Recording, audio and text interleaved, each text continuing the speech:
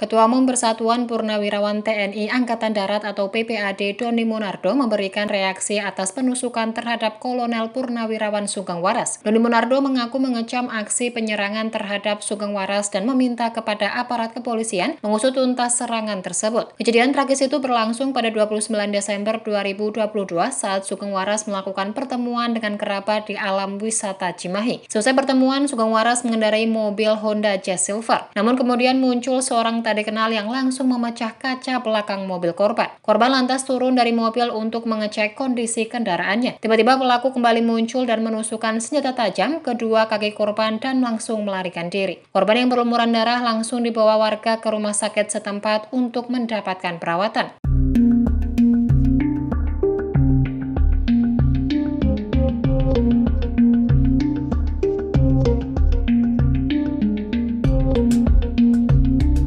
Terima kasih sudah nonton.